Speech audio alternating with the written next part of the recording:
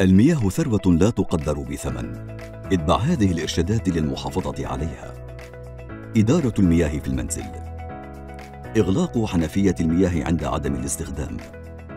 وضع زجاجة مياه مملوءة في خزان المرحاض لتقليل استهلاك المياه عند كل تدفق. تشغيل غسالات الملابس وغسالات الصحون فقط عندما تكون ممتلئة. إصلاح تسربات هدر المياه. استخدام البخار لطهي الخضار بدلا من الغلي. استخدام المماسح بدلا من خراطيم المياه عند تنظيف الأرض.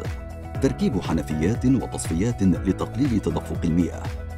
تركيب صمام التعويم فواشة في الخزانات لمنع طفو المياه. إدارة المياه في الحدائق. الري في الفجر الباكر أو ساعات الغروب. زراعة النباتات المحلية التي تتكيف جيدا مع الظروف المحلية. تجميع النباتات ذات الاحتياجات المائية المتشابهة معا لتحسين الري. حافظ على المي ونقطة على السطر